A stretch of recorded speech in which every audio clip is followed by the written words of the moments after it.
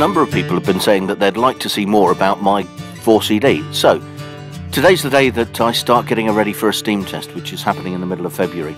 Um, but I've got a few jobs to do. Let's start there.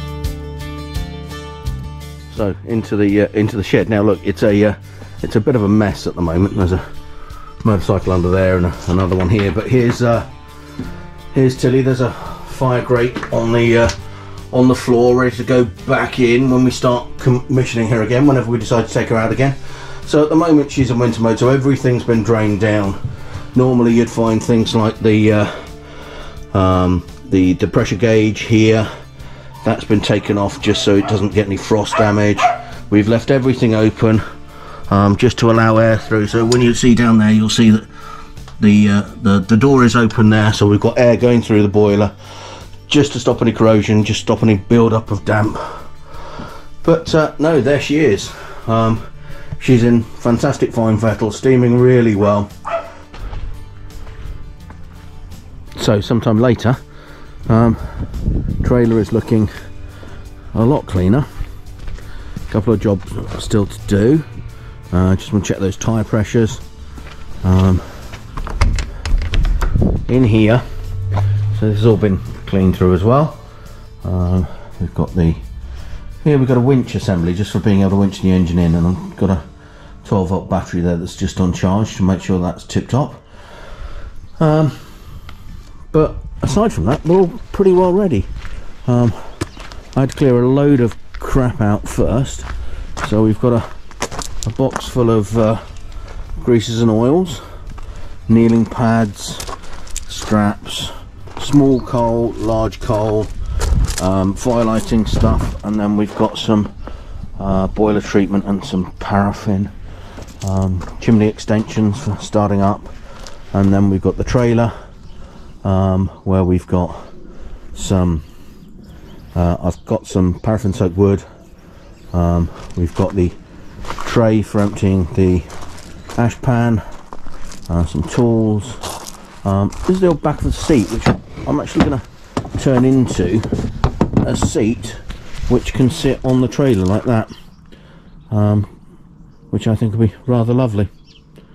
Yeah, but um, all in all, getting on quite well, really. Luke came over and we had a day just updating the engine, really giving it a good go over, putting it together after the winter and changing out the drain cocks because we felt that they had been uh, they were a bit tired. We also found a problem with the fusible plug because the previous plug hadn't been in more than about three threads, and, and the threads above that had got a build up of calcium in them, so we had to put a tap through them to try and solve that problem, which we thought we had. Well, today uh, it's Thursday evening um, and I'm getting that ready to pull that because tomorrow I'm heading off down to Cirencester I'm going to see Simon Nuttall and we are going to well he's having a cold test done on his Fowler A4 not Foster as I kept saying before. That's because I'm a bungling idiot. Um, no on his Fowler A4 um, so let's go and see what we've got in here. Um, so I've had to come up with a new system because despite being quite a considerably sized trailer, this isn't actually big enough for my trailer and, sorry, for the engine to put in and the trailer that I take for towing behind the engine. So I've had to come up with a system.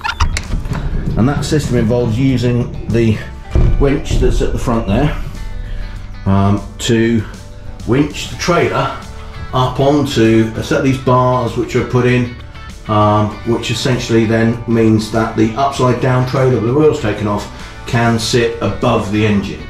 Uh, looks slightly precarious, but actually it's, it's, it's pretty safe.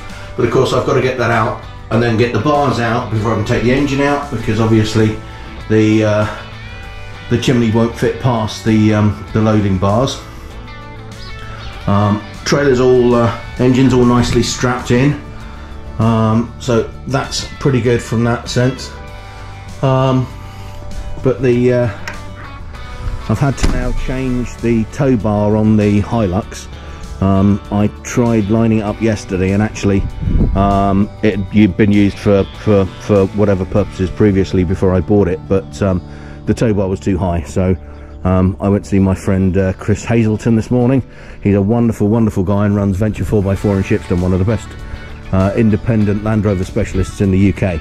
And he um, he actually had a spare which he put on for me, so we lowered it down. Um, and the next job is just to uh, yeah, just to get it hitched up and make sure the lights are all working and so on, so we're ready to go early tomorrow morning and head down to Cirencester.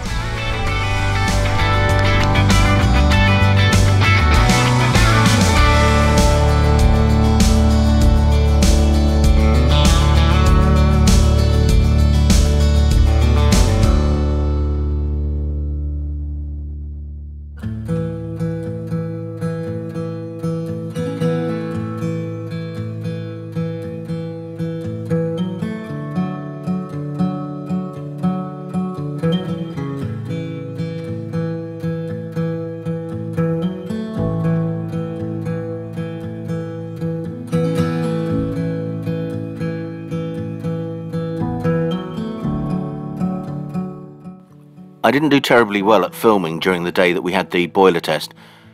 It was a quite a stressful day because the problem that we thought that we'd solved with the fusible plug um, really hadn't created a solution.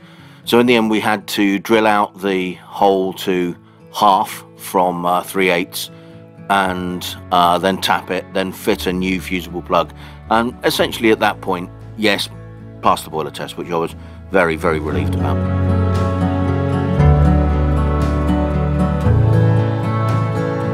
It did mean, however, that at the end of the day we could go out and oh enjoy the spoils of a day well spent. like that, Daddy? Because Daddy's videoing it. You didn't expect this today, did you, boys? Yeah, yes. I always have a ride on stuff when we come to.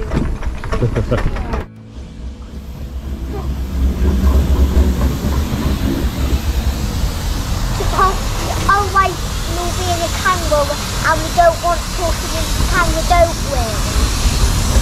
So it's really difficult.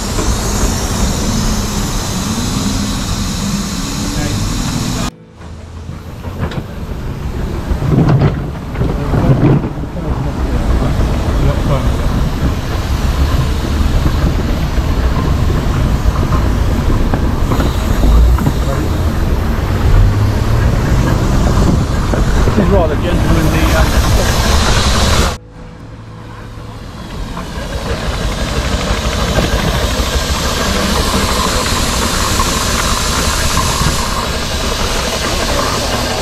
Uh,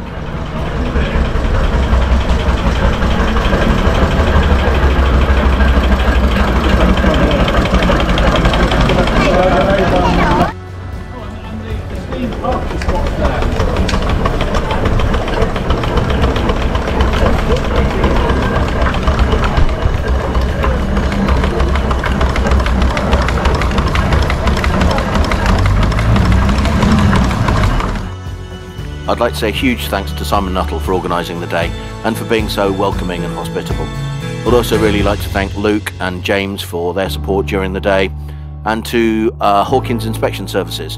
Peter, you were fantastic. Really appreciate your advice, your suggestions, and your help, and certainly guidance for the future.